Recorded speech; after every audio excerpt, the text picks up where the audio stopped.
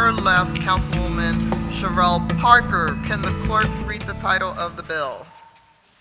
Bill number 170332, an ordinance authorizing transfers and appropriations for fiscal year 2017 from the general fund, certain or or all city offices, departments, boards, or- and commissions, the grants revenue fund, certain or all city offices, departments, boards, and commissions to the general fund, certain or all city offices, departments, boards, and commissions, the water fund, certain or all city offices, departments, boards, and commissions, and the community development fund, certain or all city offices, departments, boards, and commissions.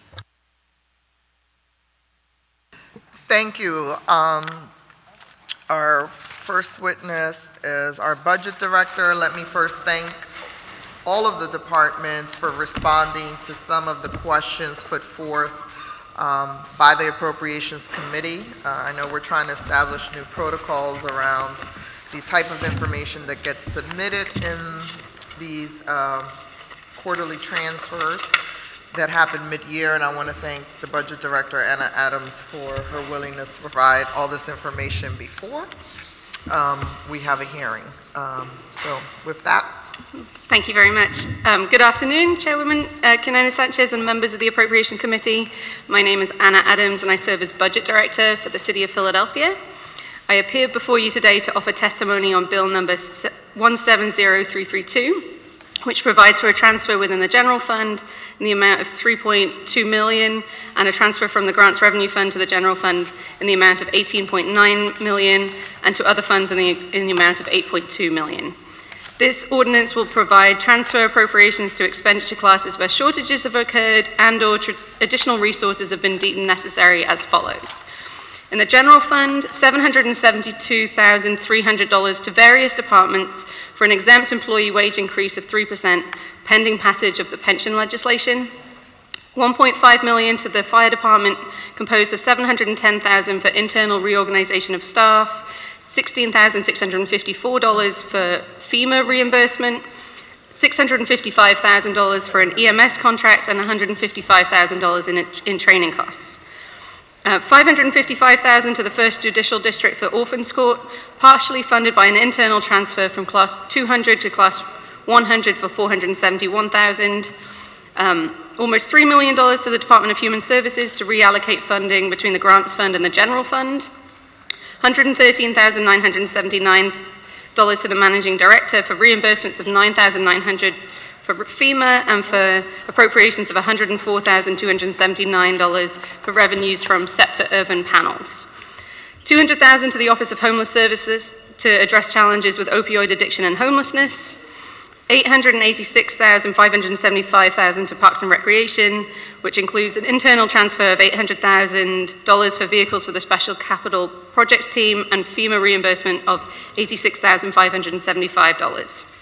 Um, just over almost 4.2 million to the Department of Public Health, composed of $4,085,724 to cover the mandated payments to the Commonwealth of Pennsylvania due to higher than anticipated revenue receipts, and 84,400 for the lead poisoning initiative. Uh, $774,189 to the Department of Public Property to fund $82,000 in salary costs for three capital projects positions, $635,000 in increased maintenance costs for the triplex contract, and $57,189 for FEMA reimbursement. 855,000 for to the Revenue Department for tax information certificates. This amount is fully offset by an internal departmental transfer of 745,000 in Class 100 and 110,000 in Class 300. $71,554 to the Director of Commerce for funding for commercial corridors related to the SEPTA urban panel reimbursement. $467,750 to the Sheriff for funding of 13 administrative assistants and 10 deputy sheriff officers. Uh, $223,038 to the Department of Streets for FEMA reimbursement. Internal realignments within the Commission of Human Relations and the Police Department. In the Water Fund, $6 million to the Department of Revenue, the Sinking Fund Commission for payment to debt service requirements, and in the Community Development Fund, 2.2 million to the Director of Commerce for program income. I respectfully request that you report this bill out of committee with a favourable recommendation, and I further request that the rules of council be suspended so as to permit first reading at the next session of council. I appreciate the opportunity to testify before this committee today and would be happy to answer any questions you may have. Additionally, uh, representatives from departments involved with the transfers are also available as well. And I think you have everybody's um, written testimony that we will submit on the record. Thank you. As we move to pro- um, program-based budgeting, what, if any, of these transfers um, or this kind of level of mid-year transfers will um, get uh, eliminated in that process? There seems to be a cycle of, you know, mid-year transfers. Is there anything in this package that stands out as an anomaly that we should be aware of? I think, um, uh, obviously, the, the exempt employee uh, increase we wouldn't have sort of assumed at the beginning of the year. Um, that was sort of pending passage of the pension legislation, so um, I don't think that would be relieved by um, um, changing to program-based budgeting. I think program-based budgeting is really helpful for us to try and think through the full cost of a program in advance. But generally, we find as we work with departments throughout the year, they either need to move money between classes for some, um, some issue that they're finding that they hadn't anticipated at the beginning of the year, or when we put the budget together, or um, if, the, if sort of priorities change um, during the fiscal year. So, for example, I think we add, there's um, 1.5 million for the fire department. 655,000 of that is due to a, um, a need to add additional funding for their EMS contract, which is purely related to how much revenue that vendor is bringing in. And so I don't think we would have been able to do anything differently, although I think we have spent a lot of time with the fire department recently about what we want to invest there. And so perhaps we wouldn't need to do those kind of investments mid-year in future years. Um, it's, it's always hard to know. I think this, the, we try and minimize the amount of, of transfers. As we know, we try and get the budget to be as accurate as possible. And we try and have departments stay within their allocation, but sometimes things come up and it's really difficult for us. We want to sort of provide enough flexibility for departments to be able to hit, hit their needs, but um, it's difficult to anticipate all the time. One of the issues that's come up through the budget discussion is the difference between the number of positions allocated by departments and then the, the, um, their allotments and, and then the ones that are actually funded. Yep. Um, and we've heard several different departments uh, recognize and acknowledge that they have more positions than they intend to fund. Um, what changes are you going to make moving forward so that there's not a confusion? It looks like we have all these jobs open that are not really funded. Yeah, and this is actually a really big issue for us, and we spend a lot of time with departments big, when we put the budget together about their total class 100. And because we don't, we our class 100 is obviously not just position and salary based. It's also what do we assume in terms of vacancy rate, what do we assume in, in terms of overtime, what do we assume. There's the sort of um, part-time employees also show up, and we've tried very hard this year, and I hope we're getting closer in our FY18 budget to to get to a point where we can get that mix between vacancy allowance and overtime and salaries. A lot of the time, the departments um, and you know they can speak to this more than I can, would prefer to show certain positions that they would like to give them flexibility in case they get an opportunity to hire that class. And the civil service system um, is complicated in the fact that you have to sometimes wait for a test, and they don't want to miss that opportunity by saying if we have, you know, we like these positions and we show the budget office that we want these positions. We've tried to get a little closer to a more realistic vacancy allowance with the departments. And so you might see that change in the budget this year where the vacancy allowances hopefully are a little bit more realistic, so may actually go up a bit in terms of the, the larger vacancy allowance. Um, and then the, and therefore their overtime numbers also growing a little bit in the fact that they haven't been able to fill those staff, or we don't anticipate that they'll be able to fully, fully fill those staff, and so therefore they've increased their, their expectation in terms of how much overtime they're spending. It's, I, I think we're getting closer. I don't, there are some positions in some departments that are very difficult to fill, and traditionally they've really struggled to fill. Um, it's, it's, a, it's sort of also a bit of a change in mindset. You have to kind of encourage, you know, are you realistically going to fill those positions with making sure that we're not dictating to them how their operations, their department need to work. So it's definitely a back and forth. I hope we'll get better at it. I, you'll see some changes, and I hope it's going to improve it, but I'm not sure we've, we've fixed the problem. How do we better um, assess, and we had a conversation, and I know that the HR department testified, this notion about when is there an active list and when there isn't. We heard some of the folks say, well, you know, we're waiting for HR, and, you know, this finger pointing that goes on, where, what, where- what is HR's responsibility? Do they have an active list? Um, you know, because some folks have said, well, we, we're, we're, we're waiting, and, and I later found out that they haven't even requested a test. Um, and so you start thinking, is this a budgeting ploy that they play when they really don't have an intention to, to, to hire? How do we close that loop a little bit? Um, and this is a suggestion for the future, r- you know, if there's an active list, that departments don't say, we have these openings if there's an active list, or if there isn't an active list. Because if you come in for- before us and you say, there's these job openings, but you know you don't have an active list and you haven't requested one, I think there's a little, Yeah, and we've actually, part, to try and improve kind of the link, we invite HR to all of our budget meetings with the departments. So when departments. but we don't know that. So I'm- what I'm asking you is, as we, as we dis- begin to discuss this and get more detail in our budget, um, we need to have the full picture. Yeah, and, uh, but part of the reason behind that is that if departments are saying they, we ask, that we ask them in our budget meetings, oh, so you expect to hire all these people, um, and they say yes, and then there's someone from HR who can also say, well, but we haven't had a list, that allows, gives us more insight too, it kind of improves the coordination between HR and budget and the departments. Or it's also an opportunity to remind HR that perhaps we, or to make that request to HR that they should put a list together. So I think it, hopefully it, just that kind of a little bit of extra coordination helps. Um, but it doesn't solve the problem of if a department's playing that game, but it definitely would help if there is just an honest mistake and someone hasn't communicated that effectively. Yeah, so I think that particularly during the budget time, people need to, to Yeah. um, disclose if active lists are there and Yep. if they've requested them and if HR hasn't moved on them, because we also want to know when HR, ha- ha- if HR hasn't moved on it, because I think that's important. Okay. Um, As a district council person, I'm okay with folks having extra money in all their budgets because I always have a fire going on in my district. And I want people to be able to put out the fire. No pun intended, Commissioner. I'm glad you're getting a lot of your money. But I think it's important um, that there be a little bit more transparency Okay. in that.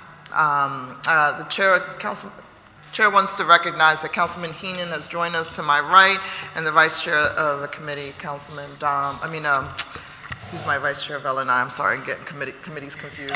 Uh, Councilman Domb, want to recognize you? You have the mic on. Thank you, Madam Chairwoman, and good afternoon.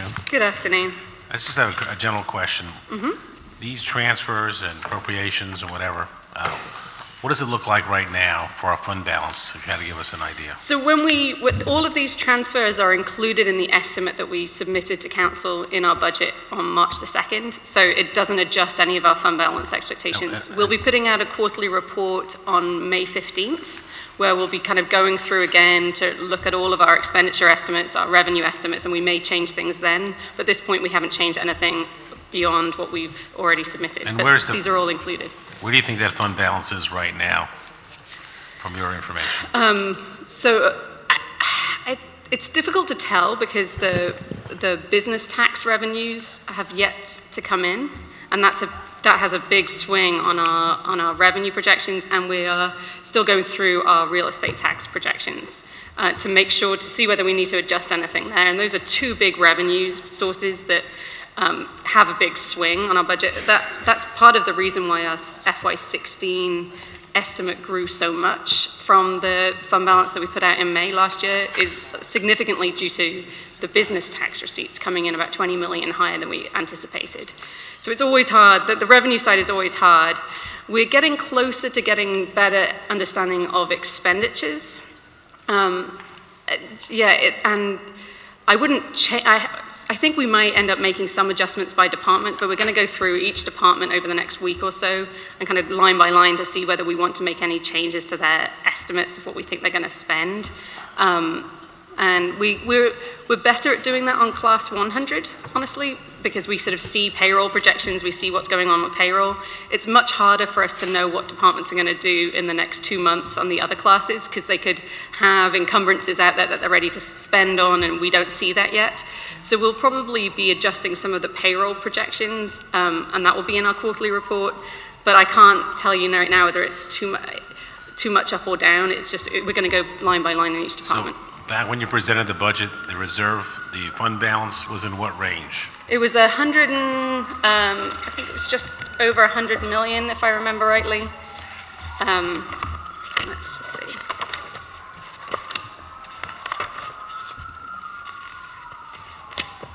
Mm-mm-mm, Sorry. Yeah, it was a hundred, hundred million, hundred million, seven hundred thousand. I think it'll be probably a little bit above that, is my guess. um, But when but we just from my recollection, the annual budget's about 4.4, 4.3, Yeah, four point two. 4.2. And the, uh, the, in our charter, it says somewhere we're supposed to have how much in reserves? So the GFOA would say 16% or so. Uh, our goal would be 6 to 8%, so much higher than we're showing here, yes. So 6 to 8%, just doing the quick math, is about 250 to Mm-hmm. uh, 320 million? Yeah, and we're only about 100 million, so yeah, we're significantly below our goal. Right. We think it's going to take us some time to get to our goal, but Right. it's definitely a concern for us that this is, is as low as it is. Okay, thank you very much. Thank you. Thank you, Madam Chair. Thank you. Um, Any questions, other questions from our committee? Um, Seeing none, everybody gets off the hook. We're glad to see some of, oh, talk too soon. I was trying to save all of I was excited then. Councilman Johnson. I Thank- tried, folks. Hey, Anna, how you doing today? Good, thank you. How are you, Councilman? Just had a small question regarding the eight hundred thousand dollars that was transferred um, to the Department of Parks and Recreation for the rebuild initiative.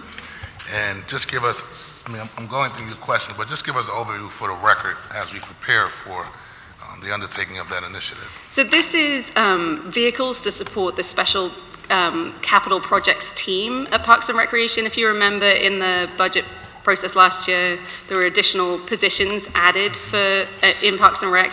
This is to support those positions by adding, it's about 18 vehicles, I think it includes things like bucket trucks and, and pickup trucks and things like that, but supports that team, um, and that's what that money is for. Now, has that team, like, what type of work will that team be doing prior to us um, officially starting the rebuild? um, I can initiative. have uh, the Parks and Rec Commissioner come up and answer that. And the total number of people, I think, is it 40? So we've added 40, I think we've only hired 12 to date, um, but um, yeah, that the 40 is budgeted. I I just want to know what are they doing, because we don't, we haven't even passed the rebuild bill yet. And so I want to know, like, how they're spending their days, like, what are they doing? Just hanging That's out, all. slides and swings. Trying to understand, you know. Are we Um, gonna have swings this summer? Good one. I, I set myself up for that.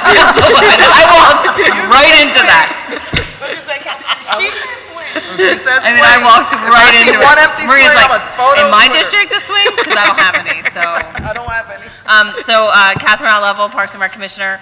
Um, so, uh, we talked a little bit about this yesterday, but, uh, Councilman, our, um, our goal when we, uh, heard word that we received the extra allocation, um, was, uh, in our budget this year of the $2 million, was to create 40 positions, uh, which would um, essentially um, create a special projects capital squad.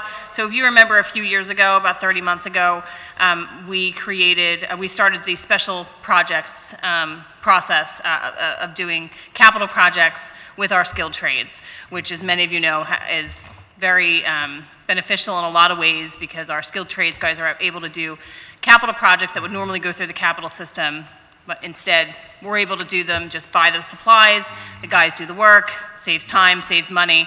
All 10 council districts have used this Yes. very well. Um, What we've noticed over time, uh, over those 30 months, is because the program has grown in popularity, we've done about 102 of those uh, special capital projects, it squeezes uh, our maintenance, our ability to to respond and maintain um, facilities. So with the uh, new positions, uh, we are creating um, a special squad that will just focus on capital projects. They will be part of our skilled trades team, um, and um, if there are not capital projects for them to work on at any given time, they will certainly be able to do maintenance work and vice versa. If there's a special skill set in our maintenance team that needs to be um, allocated over to uh, the the capital squad, we'll be flexible and be able to do that. But we would create, um, the 40 positions would be split up over the six skilled trades categories, and they would primarily focus on on the special capital projects like roofs, like boilers, like air conditioning systems, um, that will eventually be a key part of the rebuild initiative. So right now, they're working on the existing capital project requests that are coming in, um, as well as, you know, regular maintenance um,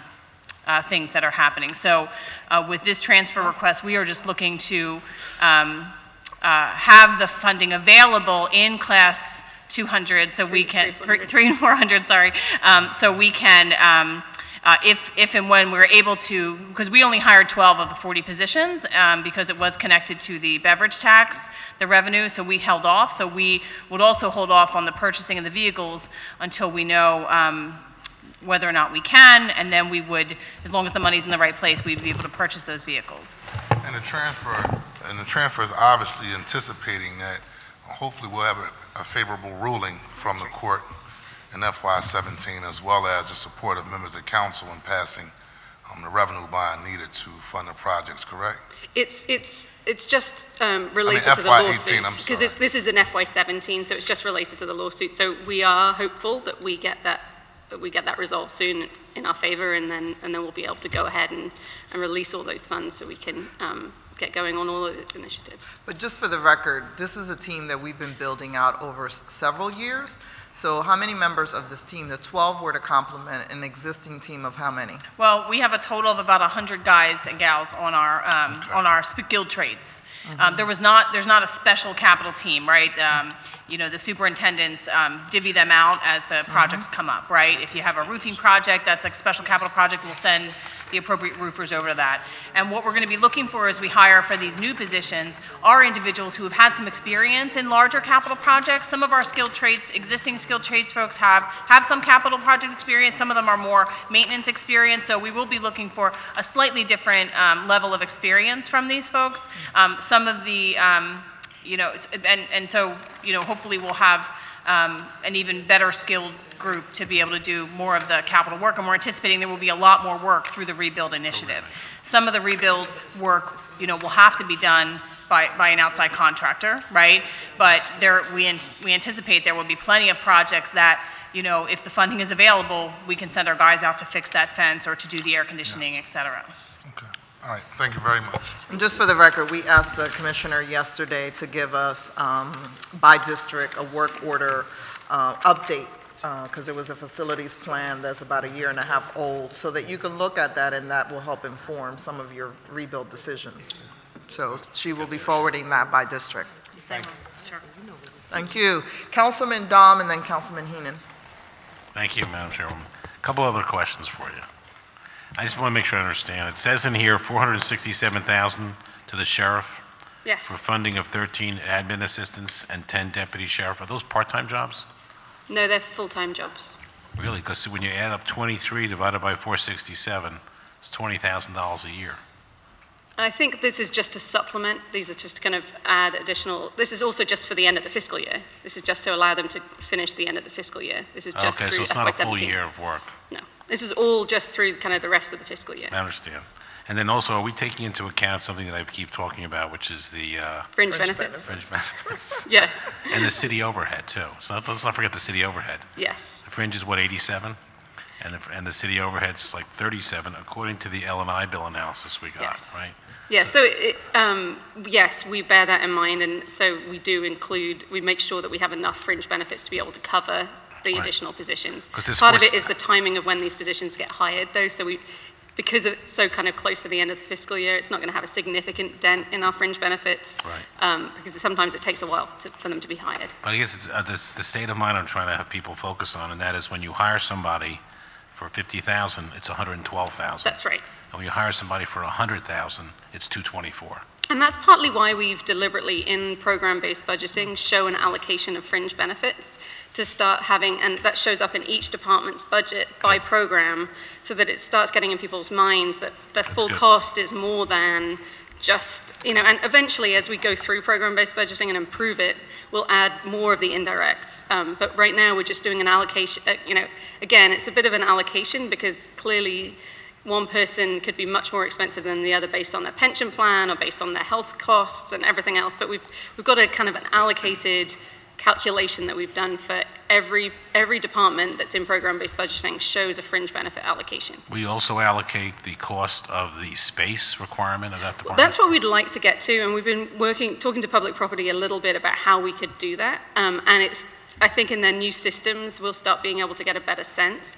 It's really hard to do well, um, because uh, if, you know, if an employee is out in the field more than they are in, um, you know, in an office, or depending on the size of an office that someone might have, they have clearly much more sort of square footage that costs more. But we'll, we'll, we're going to try and get to that. It may not be next year, but we're really going to try and push that. And utilities is the other one for us. We also see that, and I think that was brought up in one of the hearings the other day too about the idea of trying to incentivize departments to save money by if they are doing energy sort of energy saving activities. You know, they should it should show up in their budget at least, even if we can't kind of give them additional appropriations. They should at least be sort of rewarded by it being shown that they're saving money for, for relative to everybody else. So that's what we're looking that program-based budgeting eventually will allow us to do. I mean, I know public property, I just came from a meeting, and they had a really good idea. They said something about looking at departments and actually rewarding them when they go from 4,000 feet to figure out how to go to 2,000 feet. Yeah, that's, that's really interesting. I mean, and I think they do a lot of work with departments on space planning and trying to make sure that they, they're within kind of policy areas. I mean, there's also kind of issue of like how big someone's cubicle should be versus another, you know, and so they definitely work with each department. It's trying to find ways to incentivize departments, and that's, that's always our kind of, the, in the budget office, this is always where we're, you know, pushing and pulling against departments. We don't have that many carrots, and so when we can come up with carrots, I think it's really helpful. All right, well, thank you. Doing a very good job. Thank you. Thank you, thank you, Madam Chair. And don't forget the stick. We already have those. Councilman Henon? Thank you, Madam Chair, and we heard that here publicly, you know, Councilman Domb, you know, saying that you, you know, the budget or the finance director is doing an awesome job. Uh, And, you know, I just, and I know the meeting, you know, this appropriation meeting isn't necessarily uh, to some of the, the points that have been brought up here regarding public property and uh, OIT, but the space management really does play a, Yes. a big part in our future, you know, as you had, you know, made a statement about, you know, you know, the complexity of having field agents and or workers that are, you know, out in the field, you know, we have to match that up with the technology. If they don't have the technology to be out in the field, then it, it doesn't work. Right, So agree. I just, you know, for, for the record, as we enter into uh, Philly Tech Week next week, Councilman, uh, that, you know, we, we certainly factor in when we do space management, the uh, capital, uh, tech capital projects, all right, Yes. for, for remote locations and, or, you know, some of the uh, wireless uh, devices that,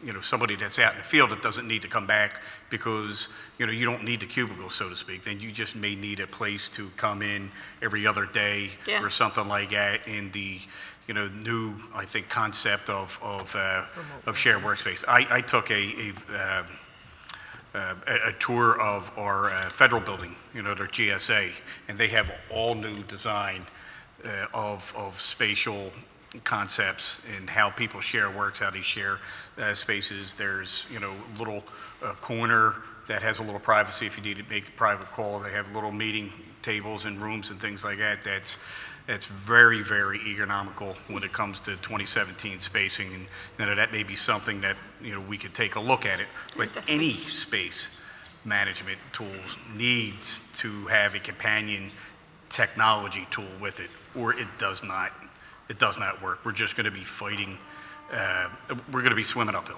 right? Yeah. And that's, and I know that's not, you know, the, uh, the question that I was going to ask, but we were on the topic, and I just think when we're appropriating monies, uh, and we're having conversations about uh, budgets that, you know, s- technology is a part of it.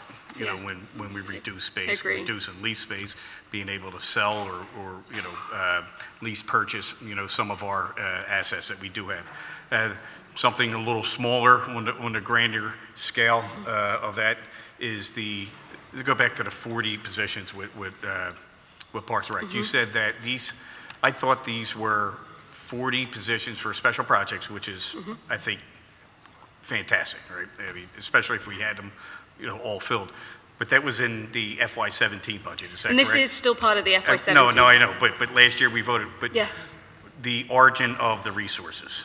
So uh, we It wasn't have- general fund, you were counting on. Yeah, it, and we have, it is all in the general fund, um, but the beverage But tax is also in the come- general right. fund, and so we associate this as one of the costs that's kind of And we- connected and to we- the and we beverage stopped- tax. We stopped So we've- hiring. Yeah, we paused it while the litigation was pending, um, just as we Do we have, paused. do we have candidates uh, in the HR system for those, uh, the civil service positions? Or do we need to keep, We do. you have, can- okay, great. We have some, we have many active lists for those positions. In fact, Okay. we were surprised. Look, we as long as you have a couple hundred process. people to choose from and, and select from, it makes your job harder, but we could keep, continue to keep promoting, Absolutely. you know, through any kind of our outreach and engagement, uh, uh, you know, programs that we have within our own uh, offices. and- And Absolutely. we with the Yeah, community, we- just, there's just lots of- encourage people to go online and, Absolutely. you know, phila.gov and, and, Yeah. and- and apply. Yeah, and there, there's other skilled trades, va- skill, existing skilled trades vacancies citywide outside of the rebuild Mm-hmm. position. So we should constantly be con- recruiting for skilled trades, specifically diverse candidates. But yeah. Great, love it. We had, we had good luck hiring, finding the 12 that we did. In fact, we got one female painter, which is really exciting. This is not a lot of ladies in the skilled trades. Well, we need to get a few more. Amen. All right, thank you. Thank you. Thank Um, Just for the record, because um, there's been these decisions to halt some of the slots, rebuild, and uh, even the pre-K training, um, what's going to happen with that money? How you're going to allocate it? And um, is that going to be something that, that council will be consulted on? So as soon as the, I mean, we're hopeful that the litigation gets resolved any day now. Um, and if it gets resolved and we, we're successful and it's, we would just like that money to be released and it's spent exactly how we put in the budget, it will be spent. And the same with the FY18 budget. You can see um, that where we've put the kind of reserve lines in the budget detail. Um, but as soon as that litigation is, is, if it doesn't get resolved until FY18, you'll see it being spent in FY18 just as we've laid out in the budget detail. Um, yeah, so you could see all of the, everything there. From all of the projections, we're going to actually collect more than we, what we projected. What is going to be done with the excess collection?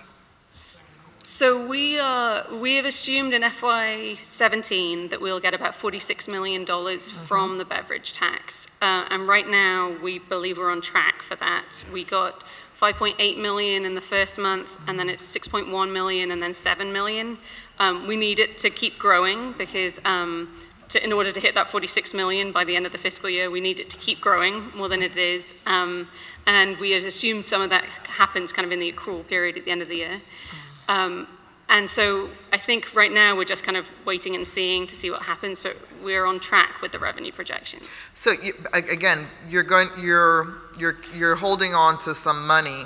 Yes. So your, your goal is just to release the money, but we're also budgeting for next year. There will be an excess as a result of that, because a lot of this money, so for instance, for those of us who have a concern about, we're not, us not doing the training component of building out of, of pre-K, what happens to that money? Yeah, and we can absolutely have that. So if, if it gets resolved on, you know, August 1st, for mm-hmm. example, and there is a certain need, we can always, if it's, because it'll have fall into our fund balance in, in FY17, mm-hmm. so then we could always add, you know, we can have an appropriations committee meeting to, if we needed to add additional funding for training at mm-hmm. that point, because we'll have had the additional fund balance build up in, uh-huh. in 17, so that, that would come before this committee anyway Okay, if we added anything to what we've already put in the FY18 budget. okay. I just want to reiterate, there should be a conversation about that, because Yes. since we did not, we were not privy to the, to the decision about holding stuff up, particular areas like training and other, other stuff. We want to make sure that some of us who advocated very strongly that these, that our centers have access, particularly their staffing, have access to resources so that they can get their certifications, so we can build folks out. And so that takes time. So we're not giving these workers, particularly these women, access to resources for them to get their certification, and that's a timing issue um, for some of them, so. All right, thank you. Any other questions? Recognize that Councilman um, Brian O'Neill joined us. Um, This concludes the public hearing. We will now go into the public meeting of the Committee on Appropriations. Uh, The Chair recognizes the Vice Chair, Councilman Kenyatta Johnson, for a motion on Bill 170332. Thank you, Madam Chairwoman. I move that Bill number 170332 be reported from this committee with a favorable recommendation, and further move that the rules of council be suspended to permit first reading of this bill at the next section of council. Uh, All those in favor? Aye. Any opposed? Seeing none, please note that the Committee on Appropriations has moved out Bill 170332 with a favorable recommendation. Further move that the rules of council be suspended to permit first reading at our next public session. This concludes our meeting. Thank you very much, and all the department heads for coming.